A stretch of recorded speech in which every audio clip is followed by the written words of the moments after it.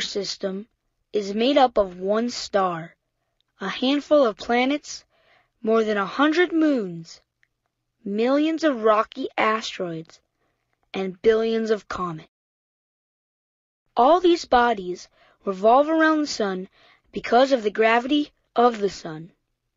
Gravity of the sun is a force that pulls the objects toward the center of the sun. The sun is the only star in our solar system.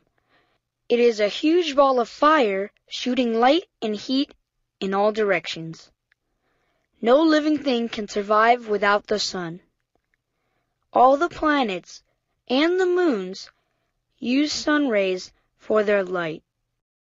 There are eight planets in our solar system. They are Mercury, Venus,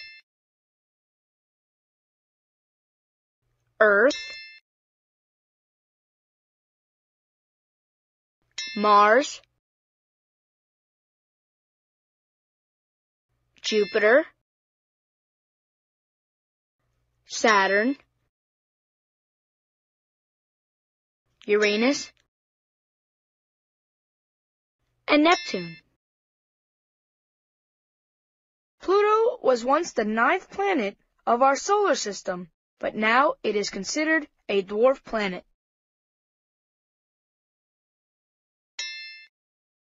Venus is the hottest planet of the solar system.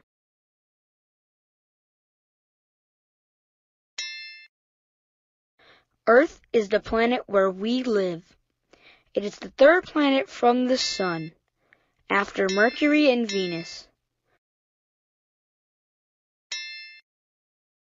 Earth is the fifth biggest planet of the solar system, but all the planets are tiny in comparison to the Sun. It takes 365 days to revolve around the Sun.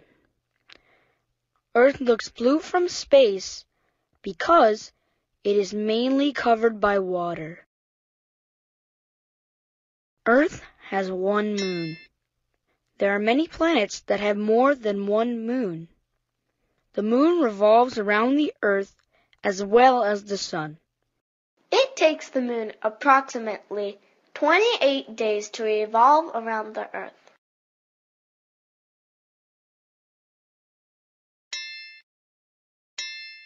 The moonlight we see from earth is the light from the sun.